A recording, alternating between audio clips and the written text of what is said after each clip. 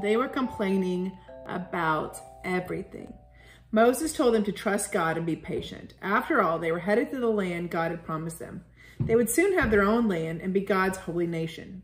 Just when Moses thought he couldn't make their complaining any longer, they finally reached the promised land. A land called Canaan. What was the name of the promised land? Canaan. Canaan. That's a fun word. There's only one problem though. They were already people living in Canaan. Wait, God promised them a land, The people were already living in. but people were already living in it. Would you be confused if you were an Israelite?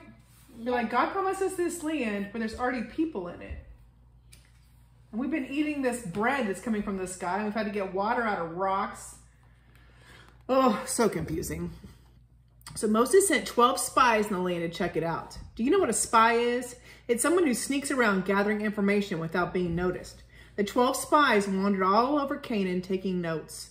Was there food, fresh water? Were there trees? How many people lived there? Were they big people? Were they little people? When they came back to Moses and the Israelites told them what they saw. The promised land was amazing. They saw grapes, huge, delicious grapes. They saw lots of fruit trees, and they saw good land for growing crops with clean, fresh water running in brooks and streams. They saw that the land God promised was an amazing, wonderful place to live. But they also saw people who lived there. They looked big, and they looked strong, and they looked mean. What if they attacked the Israelites? Would the Israelites win or lose? Moses asked the spies what the Israelites should do. Two of the spies reminded the Israelites that this was the land God promised. Even the people, even though the people looked big, God was bigger. If they had to fight for the land, God would fight with them and they would win. All they had to do was to trust God. But the other 10 spies were scared. These people are big and they're strong, they said. If we have to fight them, we're gonna lose. Who should the Israelites listen to? Two. The two. They should listen to the two. Israelites listened to the scared spies. They forgot all the things God had done for them to get them out of Egypt.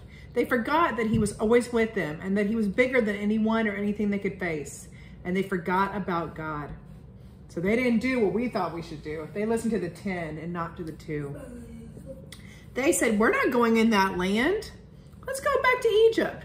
Moses couldn't believe what he was hearing. The children of Israel, God's friends, were turning their backs on God. Because you don't trust me, none of you will get into the land I promised, God said. Someday your children will go, but you won't. God watched the Israelites. God wanted the Israelites to trust him. He wanted them to remember that he loved them very much and that he didn't need them to be afraid because he was always with them. The Israelites forgot all these things, and so God put them in timeout for 40 years. 40 years? I can't imagine sitting in a corner. I know.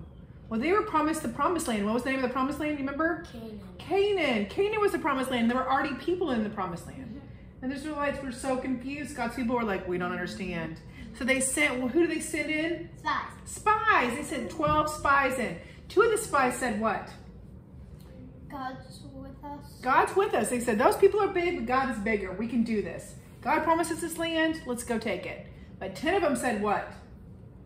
Uh, these guys are big and strong. They listened to their fear. They didn't listen to God. They said, we are going to lose. And because they listened to their fear, God put them in timeout and said, you have to roam around the desert for 40 years.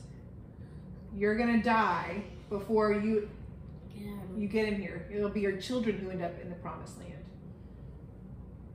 God wanted the best for his people, but his people turned their backs on God. And God reminded him over and over in this story, I am with you always. Do you know that Bible verse? I'm with you always, always, always. I'm with you always. Matthew 28, 20. Very good. I God is with us all the time. I do. I I know it because I do it on my Bible study. We do that in Bible study. You're right. Matthew 28, 20 is a good Bible verse to memorize. It reminds us that God is with us all the time. So until next week, can everyone say goodbye? Bye. Oh, even the dog. They should listen to the two. Israelites listened to the scared spies. They forgot all the things God had done for them to get them out of Egypt. They forgot that he was always with them and that he was bigger than anyone or anything they could face. And they forgot about God.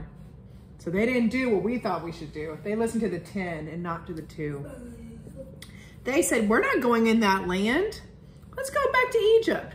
Moses couldn't believe what he was hearing. The children of Israel, God's friends, were turning their backs on God. Because you don't trust me, none of you will get into the land I promised, God said. Someday your children will go, but you won't. God watched the Israelites. God wanted the Israelites to trust him. He wanted them to remember that he loved them very much and that he didn't need them to be afraid because he was always with them. The Israelites forgot all these things, and so God put them in timeout for 40 years. 40 years? I can't imagine sitting in a corner. I know. Well, they were promised the promised land. What was the name of the promised land? You remember? Canaan. Canaan. Canaan was the promised land. There were already people in the promised land. Mm-hmm. And the Israelites were so confused. God's people were like, we don't understand. So they sent, well, who did they send in? Spies. Spies. They sent 12 spies in. Two of the spies said what? God's with us. God's with us. They said, those people are big, but God is bigger. We can do this. God promises this land. Let's go take it. But 10 of them said what? Uh, these guys are big and strong. They listened to their fear. They didn't listen to God. They said, we are going to lose. And because they listened to their fear, God put them in timeout and said, you have to roam around the desert for 40 years.